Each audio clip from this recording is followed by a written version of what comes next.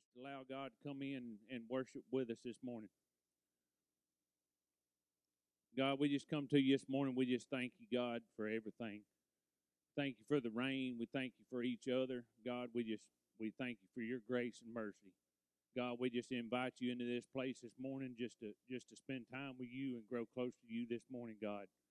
We pray for everybody that's sick, everybody that's hurting, all the needs this morning. We always have a lot of needs, God, and we need you. Just be with us as we go through this week and just help us to grow closer to you until we meet again. In your name we pray. Amen.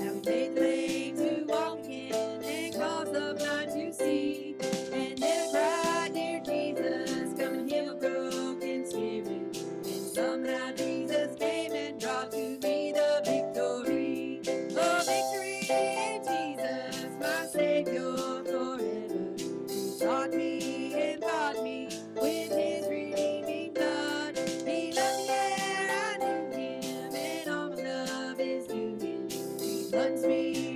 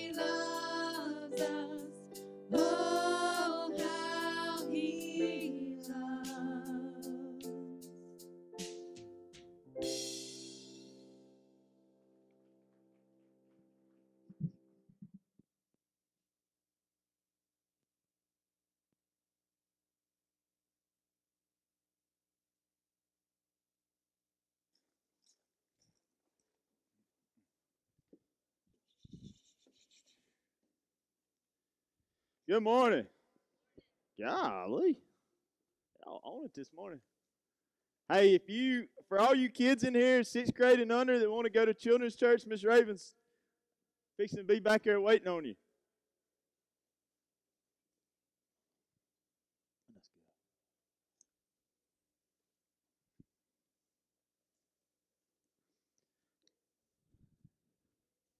Hey, I, I want to share something with you guys this morning that, man, it's just something that I was riding down the road this week and, and something happened and, and I thought about something and I, I thought, man, I just could not get away from this word. And, and so, man, this morning I, I want to share something with you. And I hope you listen because I know beyond a shadow of a doubt that, man, if there's something going on, if there's an issue you're struggling with in life, that this can help fix that. And I, and I know it not because I'm smart or intelligent, but I know man, I, I want to show you this morning in God's Word. But so th- this week I was driving, and I can't remember what day it was because it seems to happen every day these days. But something started happening, like the sky, there was nothing in it. Then all of a sudden, these little drops of water started falling from it. Right? It seems to happen every single day, all day, and and the ground is just saturated. But I, I was driving through Inverness and man, it was kind of cloudy and overcast, and then all of a sudden, for any of you guys that work up there or whatever, man, you'll know whatever day it was, man, the, the just it just came a downpour.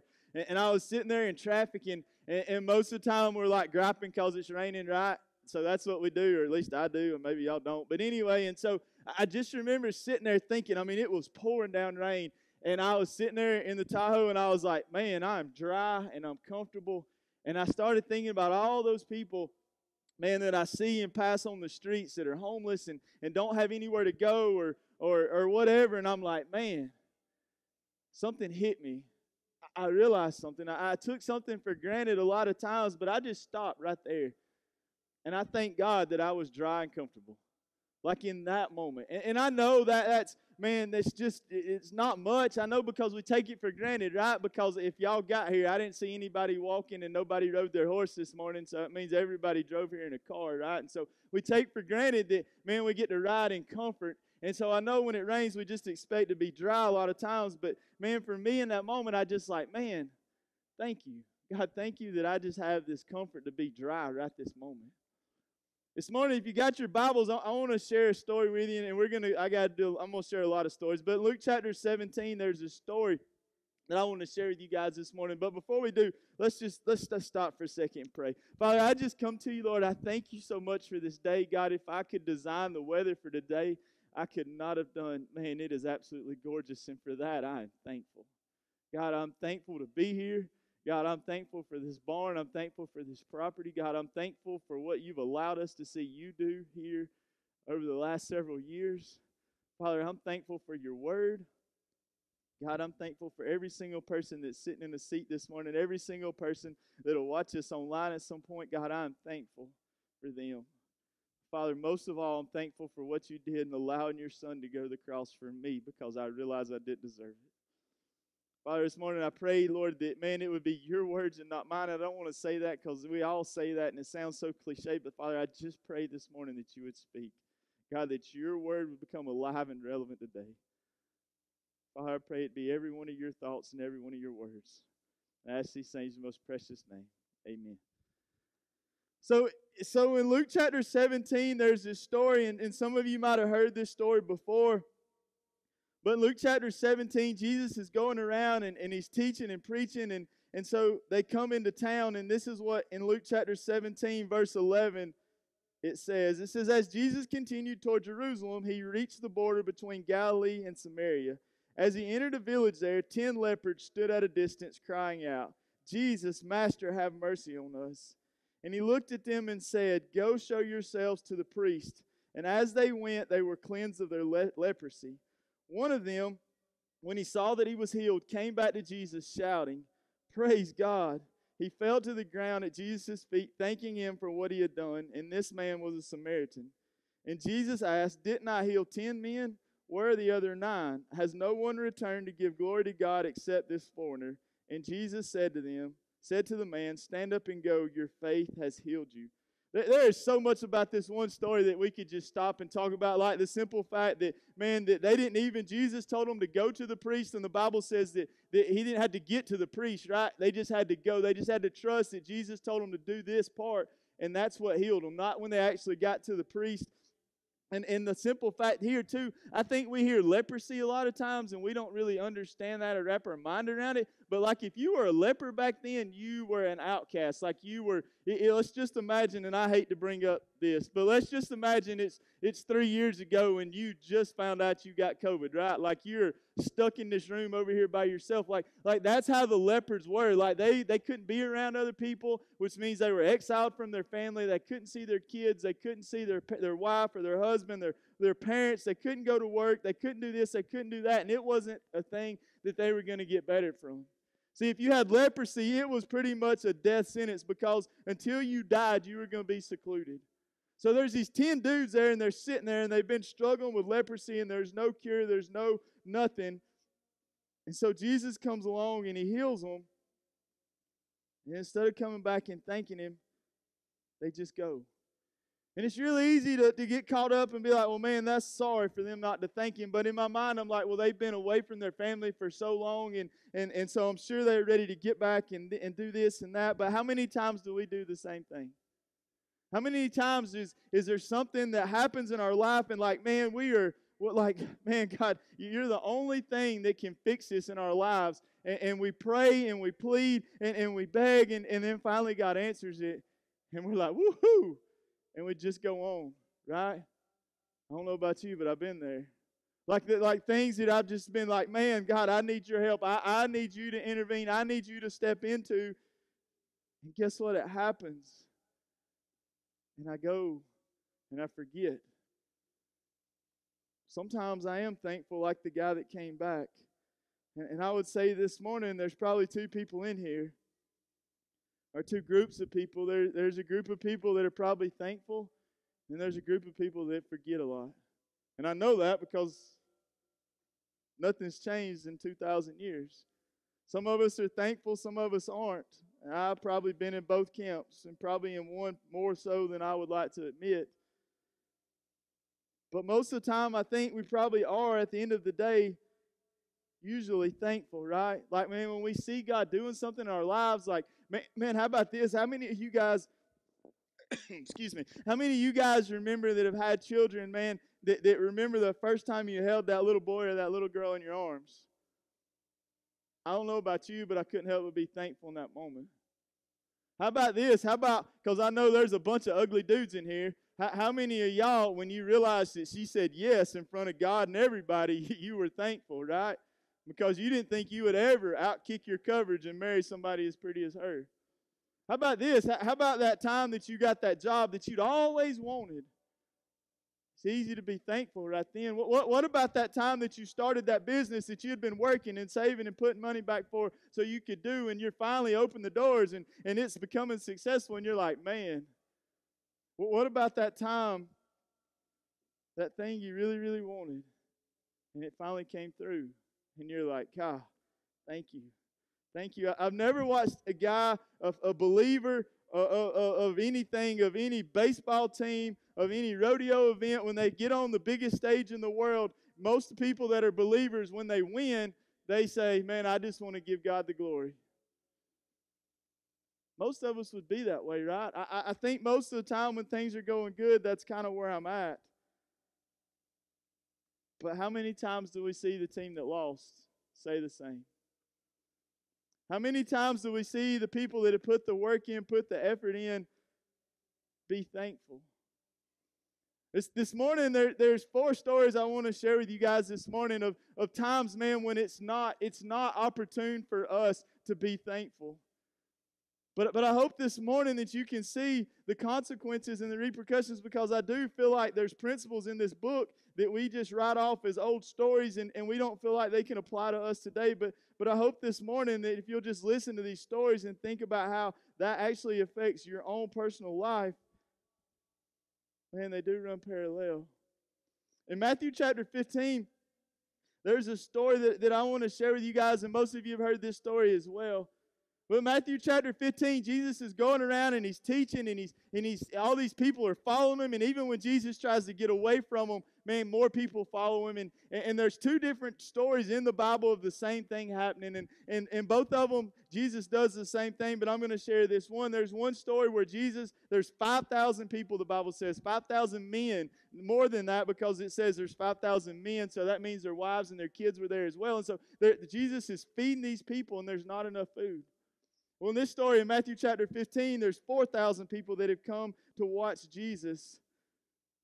And in Matthew, in Matthew chapter 15, verse 33, it says, The disciples replied, because Jesus has just told them to, for you to feed them. He said, Where would we get enough food here in the wilderness for such a huge crowd?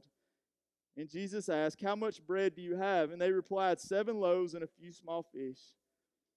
So Jesus told all the people to sit down on the ground. And then he took the seven loaves the fish, thanked God for them, and broke them into pieces. And he gave them to the disciples to distribute the food to the crowd. You might not think much about that, but how many of you that are sitting here this morning, like you know what life entails this next week? You, you know what life entails next month. You know what life entails next year. And you know this, you don't have enough. And it's really easy to think about that in terms of money and monetarily, but that's and maybe that's what it is. And, I, and I'm not that guy that's going to say, man, it's health, wealth, and wellness. I, I'm not that guy, but I'm just saying maybe you don't have enough talent, maybe you don't have enough ability to do what it is that you know is going to have to be done. Maybe you don't have enough time. Maybe you look at your schedule and you're like, man, God, there's not enough time for this. Here's what I need you to hear in this story. The Bible says there was 4,000 men plus all their families there, and Jesus had seven loaves of bread and a few fish. But Jesus didn't take out his wand from behind him and, and do some kind of hocus pocus. It says Jesus took the fish and the bread, and the loaves of bread, and he broke it. But don't miss this. It says, Then he took the seven loaves and the fish, and he thanked God for them, and he broke them into pieces.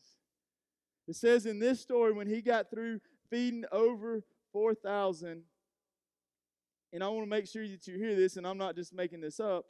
It says they all ate as much as they wanted. Afterward, the disciples picked up seven large baskets of leftover food, and there were 4,000 men who were fed that day, in addition to all the women and children. Then Jesus sent the people home, and he got into a boat and crossed over the region. I need you to hear this. Not only was there enough, but there was an abundance. And there's nothing in that story. There, there, there's nothing like Jesus doesn't say they, they did this or they did that. It just simply says Jesus took it and he was just thankful. He was thankful for the little he had. How many times are we thankful for the little we have? I, if I'm just being honest with you, most of the time I'm not thankful for the little I'm have. I, I'm envious of what others have. Most of the time, I'm like, man, God, if I had that, if I had this, if I had that, if I could get this, if you would bless me with that, then I could do what they're doing. That's not what Jesus did. The Son of God is sitting here and he knows that he doesn't have but just a little bit of food, and there's all these people that are hungry, and he just simply thank God for what he had. But see, a lot of times we're like, well, I'm going to be thankful for what I have, but what about when you, what you have is not enough? What about when what you have is not enough? How many things, how many different outcomes would come if we were just thankful for what we don't have? Maybe that's not where you're at this morning. Maybe this morning you're at a place and you know something bad's coming. Like, like you've already been to the doctor and they've already give you a diagnosis. Maybe, maybe this morning or, or, or this week your spouse came in and said, Hey, I'm done. Maybe this week that, that your boss came in and said, Hey, we don't need you anymore. And so right now you're you're staring yourself in the mirror every morning when you brush your teeth and you're like, man, I know what's coming and it's not good. You know what most of us tend to do in those situations? We tend to hang our head and pout and whine because we're poor, pitiful us. We want everybody to feel sorry for us, and we even want to feel sorry for ourselves. In the book of Daniel, there's this story, and, and, and I'm not going to read the whole story to you, but I would encourage you to go back and read it. But in Daniel, man, Daniel is a man. He, he is the guy, like the whole world, I'm not going to say the whole world, but the whole kingdom, the whole town, man, they are just all about anti-God. Like, like they're not about, and it's not they're just anti-God. They're just not about worshiping God. They're about bettering themselves. They're about bowing down to the king. They're, they're about, man, everything that we look around in our world right now and see happening as well. But Daniel was different. Daniel knew where his loyalty lied. And so there were some people that didn't like Daniel that were in power and, and they knew how to play on the king's mind and, and, and, and on the, his, his thoughts about himself. And, and so, man, they go to the king and they're like, hey, let's make a law. Let, let's make a, a law that anybody that doesn't bow down to you, we're going to throw them in, a, in the den of lions. And so that's what they did. And the king was feeling all, man, heck yeah, everybody's going to be bound down to me. But he forgot about his friend Daniel. And so Daniel's just going about through his day, and it's almost like CNN or Fox came on, and Daniel heard through the grapevine what the law had been passed. I don't, I don't know about you guys, but how many times have you turned on the news and you heard something that was going to be detrimental to you or your family? And so we go to the coffee shop, we go to the feed store, and we're like, man, I, I don't know what we're going to do. Man, that, that's going to wreck us out. That, that's going to man, we're going to lose our farm. We're going to lose our business. My kids are, are not going to be able to eat. We're going to do this. We're going to do that. That's what we do, right? We hear news, and then we just drop our head in defeat. Let me tell you what Daniel did. If you read in Daniel chapter 6, verse 10, I'm not going to read the exact verse to you, but, but you can go look it up. Daniel 6, Daniel chapter 6, verse 10, it says something like this. It says, Daniel went home and got on his knees and prayed. But if you read that verse, it says this. Says, just like he always did, he thanked God. How many of you, if you were sitting in here today and you knew that you had pretty much been given a death sentence, how many of you are going to go home and thank God for what happened? How many of you are going to go home and be like, God, thank you that I'm fixing to die? Thank you for, for everything you've done. Thank you for the fact that I'm going through this hardship. Thank you for the fact that I'm fixing to die. That's exactly what Daniel did. But you know why Daniel was able to do that?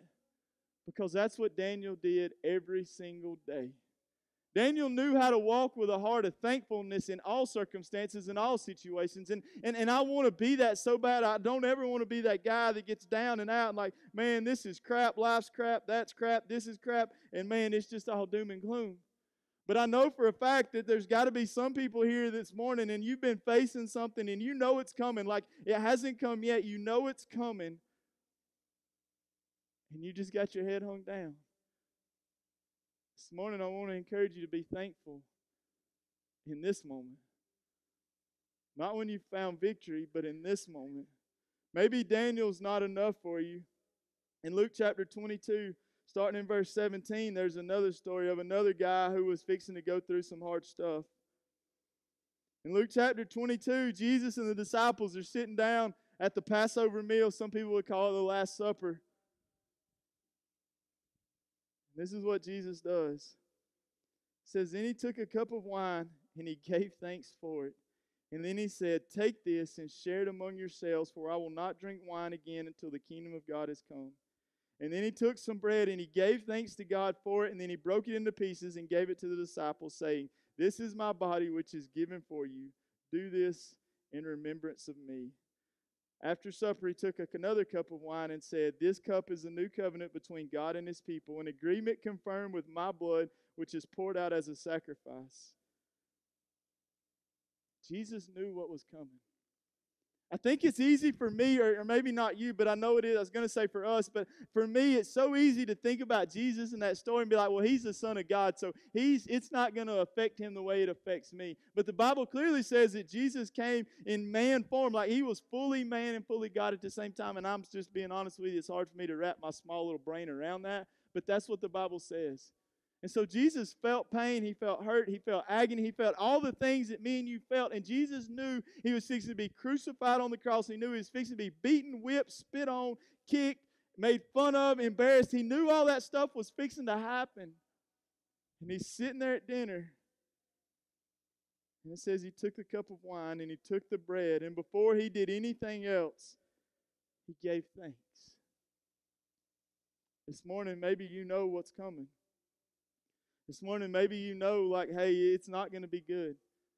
Like, like what's coming is not going to be good. I want to encourage you this this morning, and this is so hard. Like I, I'm not, I'm not preaching to you. I'm preaching at us because it is so hard when man things happen, and you know it's not going to be good. To be thankful, but when I look at these stories and I see the outcome on the other side, I see how important it is for us to be thankful. Maybe this morning it's not you know what's coming, but maybe this morning you're in the middle of it.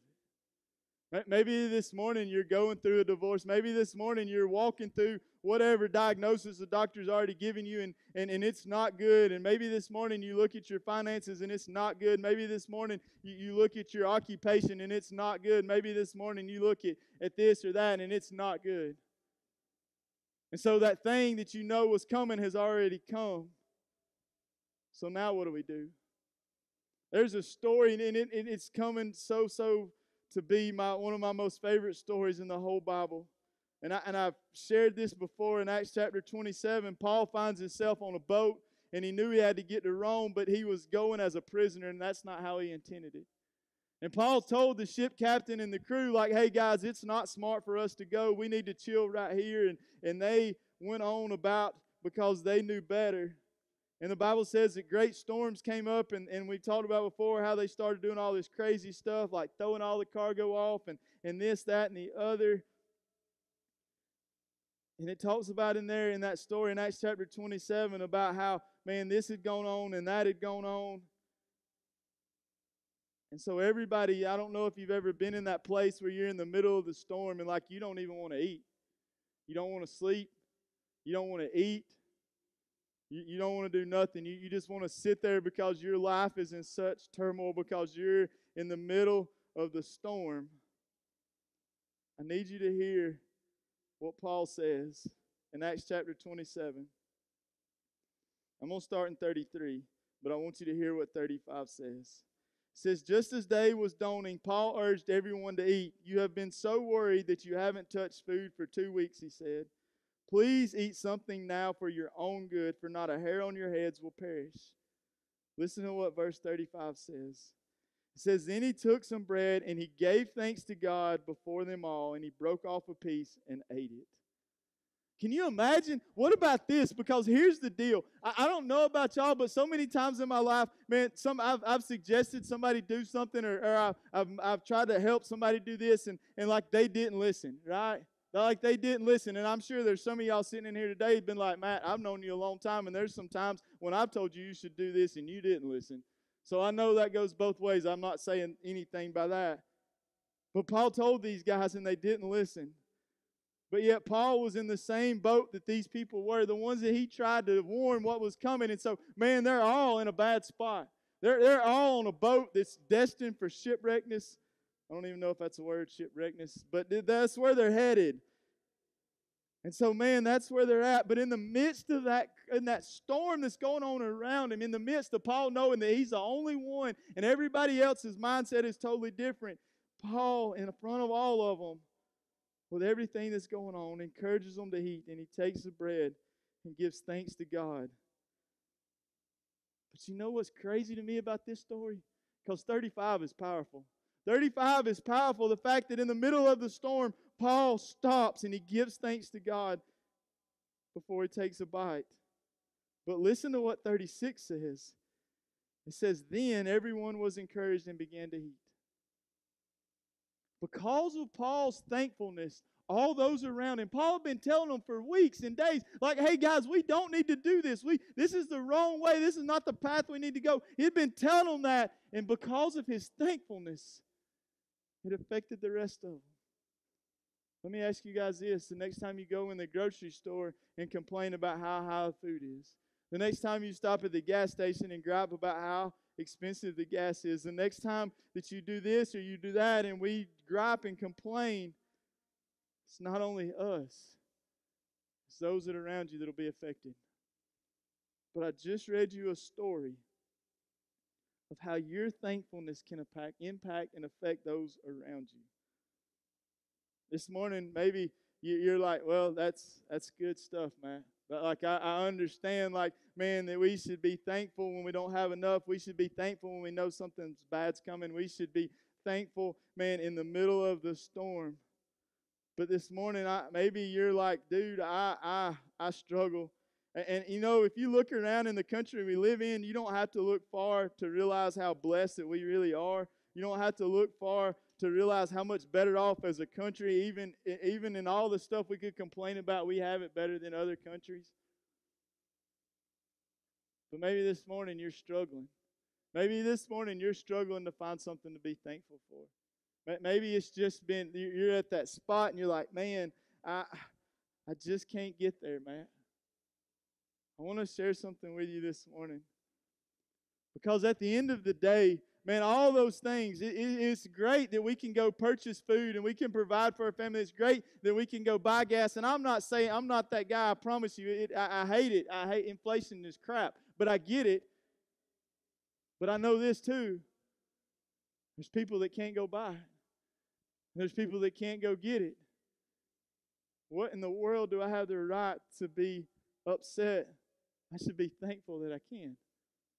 Even if it's not, even if I can't go get steak, if I can go get saltine crackers and tuna fish, man, I, we had to go to the grocery store yesterday, and I didn't realize tuna fish was so cheap. Like you can get a whole pack of tuna fish for a dollar forty-eight. Like I'm just, I, I, didn't know that. I will say this because I've been on this fish kick, and like if you buy a tuna steak, it's more than a dollar forty-eight, right? But it's really good. But anyway, but I'm like, man, I could, I can live off tuna fish sandwiches. You know what I'm saying? Like I, I, I, I I'm sorry, I don't know where. Anyway, but I'm just saying this morning, like if you don't have anything, if you're struggling, but this morning, if there's ever been a time in your life where you know that you asked Jesus to come live in your heart,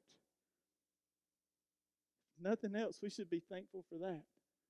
Because at the end of the day, God never promised us wealth. He never promised us health. He never promised us prosperity. I think there's principles in this book that if we're obedient to, that blessings come following that. But not a single one of us in here are, are promised any of that.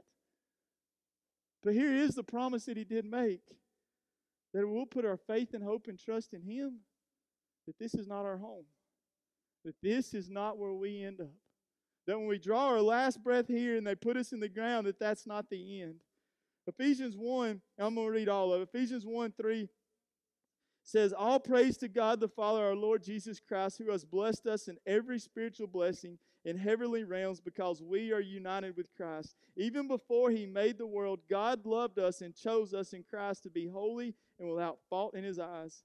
God decided in advance to adopt us into his own family by bringing us to himself through Jesus Christ. This is what he wanted to do, and it gave him great pleasure.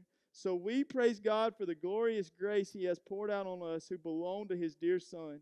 He is so rich in kindness and grace that he purchased our freedom with the blood of his Son and forgave our sins. He has showed the kindness on us along with all the wisdom and understanding. God has now revealed to us his mysterious plan regarding Christ, a plan to fulfill his own good pleasure, and this is a plan at the right time, he will bring everything together under the authority of Christ, everything in heaven on earth. And furthermore, because we are united with Christ, we have received an inheritance from God, for he chose us in advance and he makes everything work out according to his plan. Guys, at the end of the day, I have a faith and a hope in knowing that when I draw my last breath here, that I get to spend eternity with him.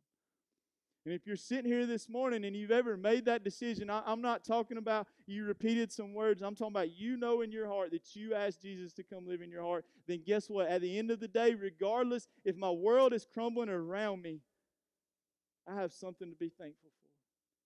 When the doctors say it's, it's no good, when the checkbook says it's no good, when the the, the employment says it's no good, when, when whatever is going on says it's no good, at the end of the day, I have something to be thankful for because for whatever reason, God loved me enough to send His Son to die on the cross, and I know how undeserving and, and I how worthless of a person I am, and how I don't deserve that at all.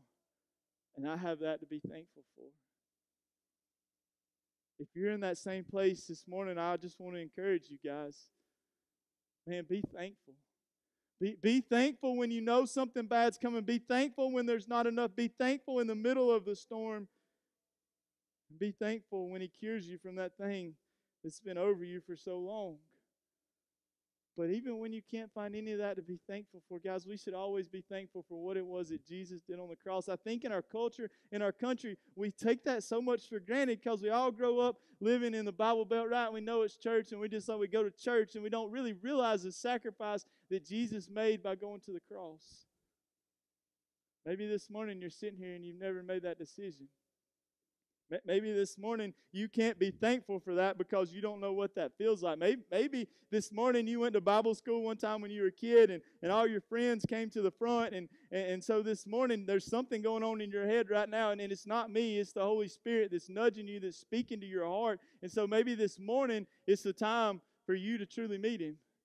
Because once you truly, truly met him, I, have told y'all this before. I, at 12 years old, I went to a judgment house in Pell City, Alabama at First Baptist Church, and, and I know beyond a shadow of a doubt we went through that deal, and, and we went to the high school football game, and then we went to the, the party afterwards. And for you guys that don't know what judgment house is, it's pretty much a, a, a horror house and they put a cross on it. I mean, at the end of the day, it'll scare the crap out of you. So you go through all these scenes, right? And so we're at the party, and, and half of them's drinking, half of them's not, and half of them know Jesus, and half of them don't. And we get in the car and we watch them, and they crash and they and they die. And so, man, we go and and like, man, half the kids that are there, they go to heaven, and so man, it's cold in there, and like just just like rainbows and unicorns, right?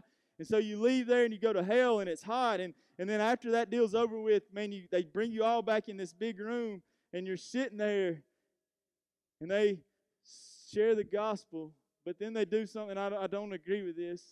And it really scares me that there's a lot of people that got scared out of hell. But they're like, hey, who wants to who who who doesn't want to go to hell? Well, I promise you, at 12 years old, I raised my hand because I, I didn't want no part of that. And so I repeated some words, and, and I don't know. Like, I'm, I'm glad I don't have to know. Because I, I, I would say I was saved. I don't, I'm not sure. But I do know this. 11 years ago, there was a little boy that came into my life, and God used him to completely change it. And on that road right out there, something happened different. Because it wasn't doing something in a church, it was something that happened in here. And so I can stand before you right now and be thankful because I truly know in my heart what it's like to know Jesus. And I don't want to confuse you. I don't want to make you doubt your faith. That's not what I'm asking. But I, I can say this I can truly be thankful for that because I know the difference. So maybe this morning you're like, man, I, I, I did this or I did that, but I, I didn't really feel any difference. This morning you have the opportunity. Because you got to know this you're not here for just happenstance. If you showed up this morning, it's because God wanted you here for His plan and His purpose, was what I just read in Ephesians. So, what are you going to do with this opportunity? Just a second, I'm going to pray. And in this moment, it's simply this it's not some doctrine, it's not some repeating some words after a preacher. It's just simply saying, God, I'm messy. I'm messy. But I believe in my heart, and I realize that I'm a sinner, and I believe in my heart that what Jesus did on the cross, He did for me. And I want some of that. I promise you, it'll change your life and it'll give you something to always be thankful for. Let's pray.